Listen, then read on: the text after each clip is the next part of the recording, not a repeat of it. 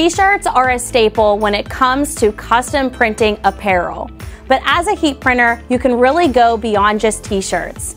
And I want to talk to you about what other apparel types that you can be printing around the cool weather seasons and how you can profit more by offering this and successfully heat printing it with just a heat press. This is the first video of a three-part series where we are going to go through different garment styles, heat transfer types, and break the costs out so you can understand just how much profit you can make on these items.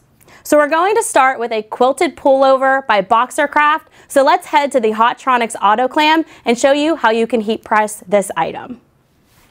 The quilted garment that we're heat printing is from Boxercraft and is a 60-40 blend of cotton and polyester. So this fabric makeup of the garment is perfect for any type of heat transfer. Before I heat apply the CAD Cut Metallic, I'm going to do a preheat of this garment for just a couple of seconds. And now I can place my heat transfer. So as I mentioned, we are using CAD Cut Metallic for this application, which is an extremely popular heat transfer type because of the special effect that it offers.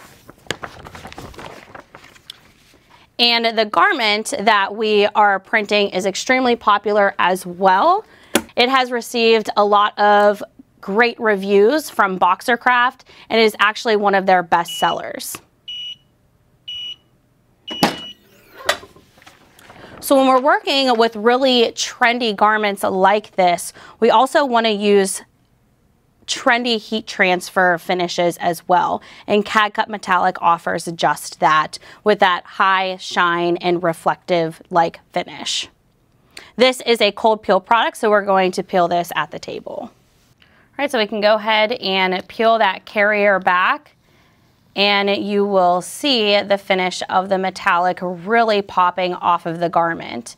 And these products pair so well together because the metallic is a nice lightweight and thin product. So it is actually taking on the texture of that quilted pattern that is in the garment which is what we really want whenever we are custom printing using a heat transfer vinyl, is really for it to take on the texture of that garment so it looks more like an ink print as opposed to a vinyl print.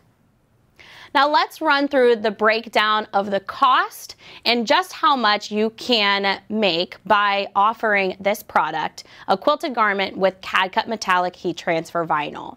Our blank sourced from Boxercraft was $29.43 wholesale. Now our heat transfer vinyl to cut out is just 62 cents for this single piece. Now we want to make sure we are accounting for our labor and overhead because we needed to cut weed and heat apply this product. So we need to account for that cost there. So that rounds out to be $1.59, right? So make sure you are considering your labor and overhead in this cost. So our cost to produce in total, which includes our blank, our heat transfer vinyl, and our labor and overhead, amounts to 3164. Now these blanks embroidered can be sold anywhere between 80 and $85. Now of course we are not embroidering, we are offering a special effect heat transfer vinyl, so we can sell this anywhere between 65 and $70. Now you know your customer best, but at least that gives you a good range of what you can sell this custom printed product for. So that leaves you with a profit opportunity of anywhere between $33 and $38 for just this single garment.